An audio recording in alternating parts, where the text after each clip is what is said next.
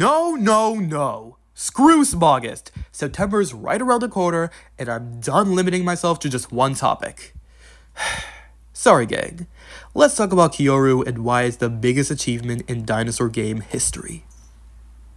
How original. For far too long, dinosaur games have stuck to one genre survival.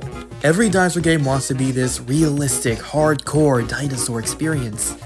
But there's a huge fundamental flaw with all these games. Notice how the videos about these games are either glorified podcasts or just skip to the PvP clips?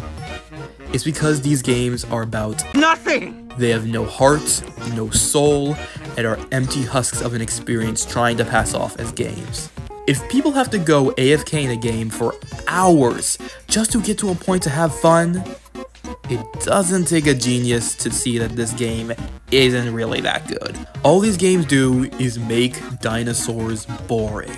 And I don't know about you, but I don't want these animals to inspire so much in me to be portrayed like this. Now back to good game. Kyoryu offers a fresh new take on dinosaur games never seen before. The idea of resurrected dinosaurs obviously hasn't been considered a unique concept since 1993, but the execution is what makes this game so promising. In Kyoryu, you play as a young T-Rex living in a post-apocalyptic Japan taken over by other dinosaurs. Say no more. Take my money. I need to speak to the manager. Ah! These dinosaurs are inaccurate. It's been 30 years, and I think it's finally time to retire the old Jurassic Park style. Do you know how many people outside the paleo community still believe T-Rex was a 20 foot tall lizard with eyesight to genuinely mistake an elbow for an elbow? More bad humor. Jurassic Park isn't inaccurate, just outdated. And unfortunately, the designs have stuck decades later. Feathers are becoming sort of mainstream, but slapping feathers on a Jurassic Park dinosaur doesn't make it accurate. Also, just to clarify, I'm not saying inaccurate dinosaurs are bad. Primal is one of my all-time favorite shows. Now, I'm no paleontologist, but I don't think it's very scientifically accurate for a T-Rex to take a dump that large. Kyoryu's dinosaurs are all beautifully up to date with the latest science. Uh, you know, but besides the samurai armor and all that. This proves that you don't need to add pointless accessories to make dinosaurs cool. Dinosaurs are already cool. Don't fix what isn't broken, unless you're certain you're gonna cook. Stylization like this is great. If this game gets popular, maybe others will try to put more effort into accuracy.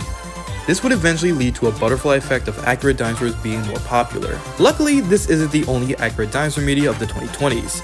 Prehistoric Planet, Prehistoric Kingdom, and even Paleo Pines are all great examples. Donate to the children's fund? Why? What have children ever done for me?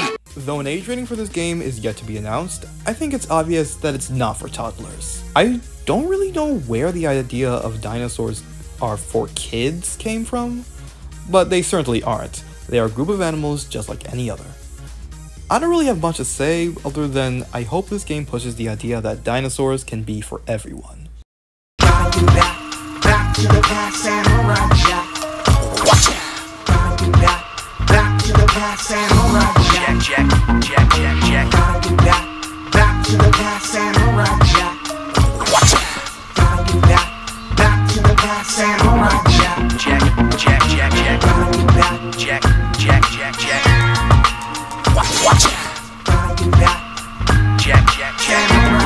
Check. Check. Check.